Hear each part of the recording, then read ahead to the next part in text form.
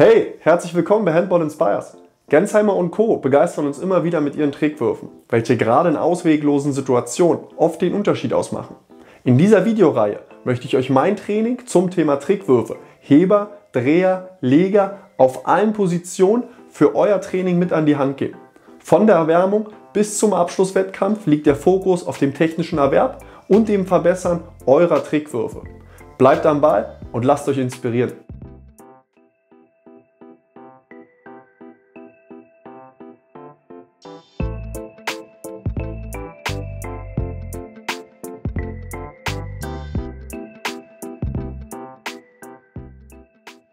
Viele Trainer arbeiten beim Torhüter-Einwerfen nicht weiter explizit an ihrem Trainingsschwerpunkt. Dadurch verschwenden sie viel Zeit und fördern auch nicht die nötige Kreativität, die es braucht für die Trickwürfe. Wir möchten deshalb unseren Spielern kleine Aufgaben mitgeben, wodurch sie gerade ihre Handgelenksarbeit weiter verbessern können. Viel Spaß jetzt bei der Übung. Okay, zwei rein. Jeder mit Ball. Torhüter einwerfen, immer kleine Vorgeschichte, Vorübung. Auf die Hände oder direkt kurz oben? Direkt kurz oben.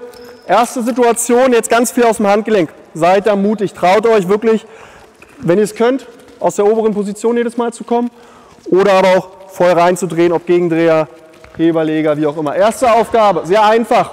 Ball hinter der Puppe lang spielen, Ball aufnehmen, hinter der Puppe lang spielen, außen kommen, Schuss frei, kurz oben. Ja, immer abwechselnd, los geht's.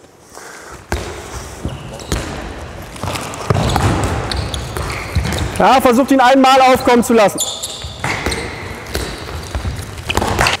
So selbe Aufgabe nochmal. Versucht wirklich reinzudrücken, lasst ihn einmal aufkommen. Ja? Und wer aus der ersten Bewegung hier oben kommt und den reinlegt und der zweiten Bewegung irgendeinen schlechten Ball aufnimmt, auch wieder hochgeht und dann unten zeigt, der macht jetzt auch schon den nächsten Schritt. Los geht's. Ja, das ist gut. Oben wieder, zack und zack. Ja, genau, genau so. Auch aus der schlechten Position immer wieder öffnen. Immer wenn du schaffst, immer wenn du schaffst, hilft es dir, wenn du den Ball nach oben nimmst.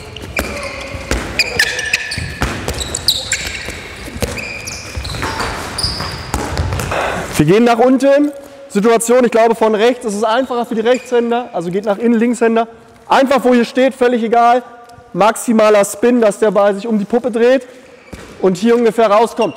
Sollte der hier rauskommen, Schlagwurftäuschung, tippen, gegen die Hand weg, falschbeiniger Absprung, kurz unten.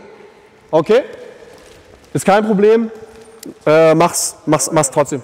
Ja, genau, mach's trotzdem. Genau. Und wegbrechen, genau.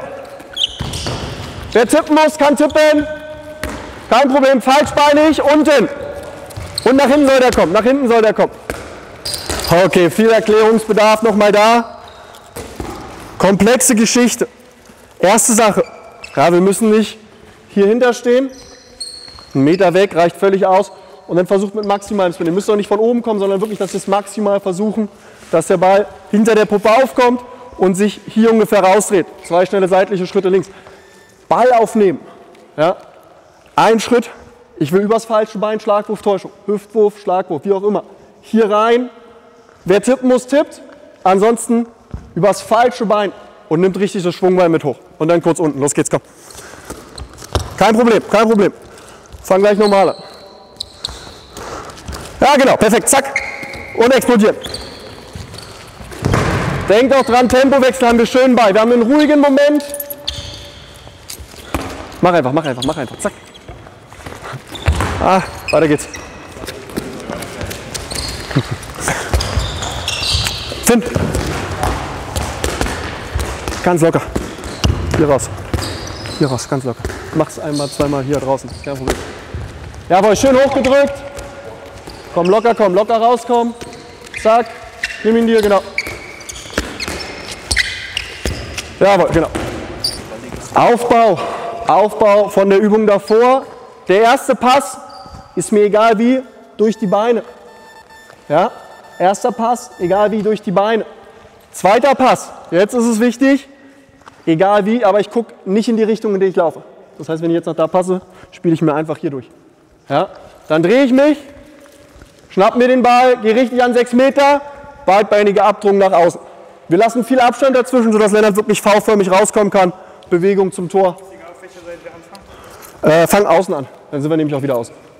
Ja, erste Situation völlig frei wie, genau. Zweite Situation, innen stehen und hinten rein. Los geht's, Jungs, probiert's. weiter, weiter, weiter, komm. Jawohl, kein Problem, kann, kann auch tippen, kann auch tippen, kann auch tippen, kann auch tippen sein, wie auch immer. Aus dem Handgelenk raus. Genau, schnell orientieren, beidbeiniger Abdruck, halbe Höhe. Holen dir, holen dir, holen dir, holen dir. Ja, ihr könnt den Ball jetzt wunderbar steuern. Ihr steuert den Ball.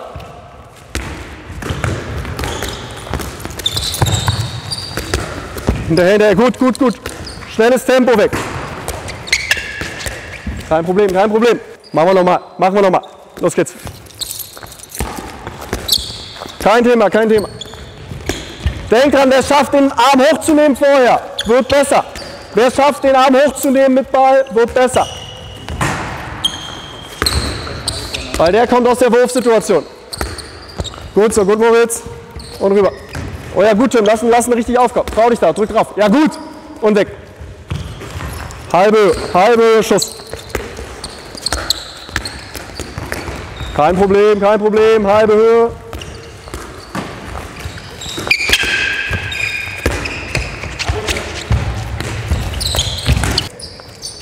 Okay.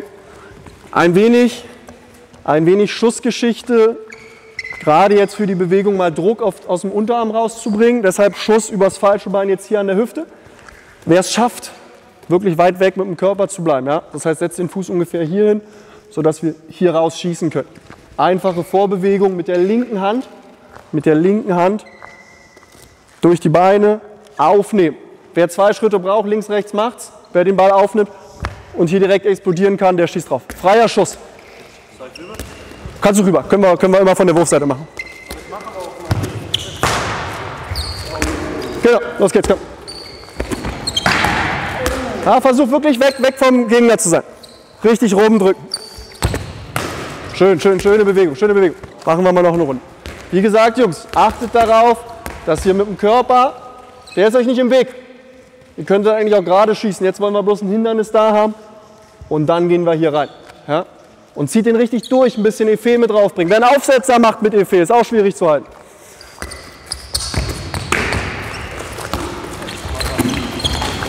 Okay. Kreisläufer, Finn und Ron. Kreisläufer, Finn und Ron.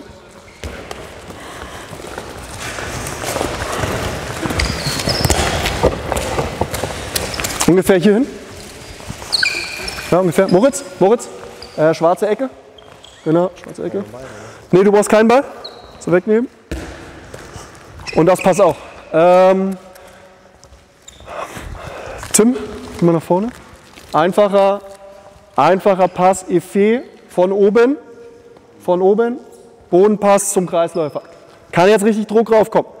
Nimmt den Ball hoch, Handgelenk jetzt fest am Anfang und dann oben rum drehen. Ja? Außen. Außen lang. Und du fängst den Ball, steigst hoch und erstmal ein freier Schuss. Okay? Los geht's.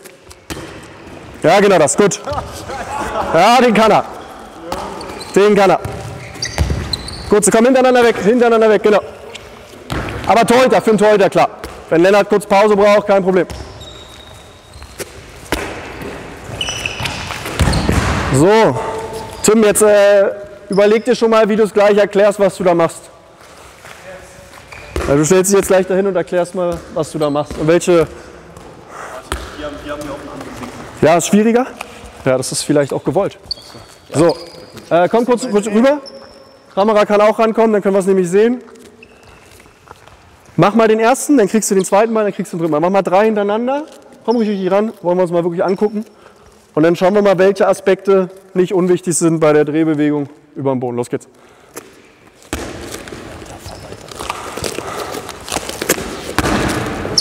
Und der letzte. Okay, ich finde was. Sag du erstmal selber was, was dir wichtig ist bei der Bewegung. Arm nach hinten und dann. Ja.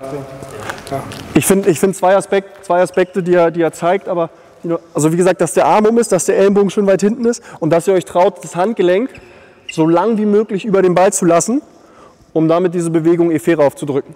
Okay? Bälle nochmal hin.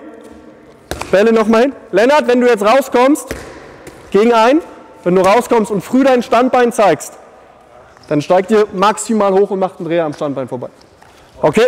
Wenn er normal hält, machen wir normales Tor. Wenn er früh sein Standbein zeigt, machen wir Standbein. Los geht's, Jungs, komm. Ja, ist in Ordnung, ist in Ordnung.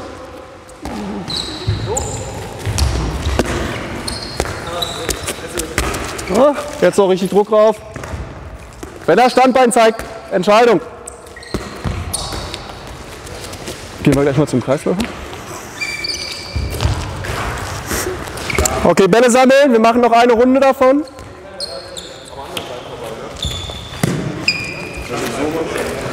So, das.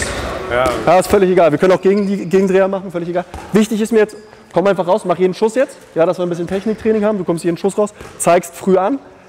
Aber wenn sie es dir nicht wirklich verkaufen, dass sie schießen wollen. Ja, das, das fehlt jetzt noch. Ja, steige richtig hoch und dann Dreher. Ob gegen oder Zuhand, völlig egal. Aber wir wollen es so lange wie möglich verkaufen. Wenn wir es auch noch, stell dich mal hoch jetzt zum Beispiel aufs rechte, aufs linke meine ich, aufs linke, völlig in Ordnung. Dann können wir auch ein bisschen noch rüberfallen und dann gegendrehen. Ja, du, du fängst den Ball einen Schritt hoch, okay? Verkauft es ihn richtig und jede Situation ist jetzt ein Dreher. Letzte Übung dadurch. Letzte Übung, Pass, Dreher, los geht's.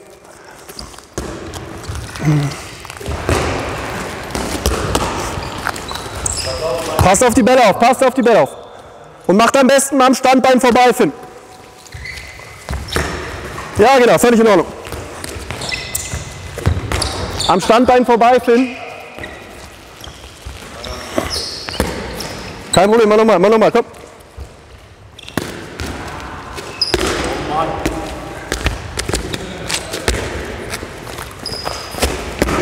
Das ist einfach ein gnadenlos guter Abwehrspieler.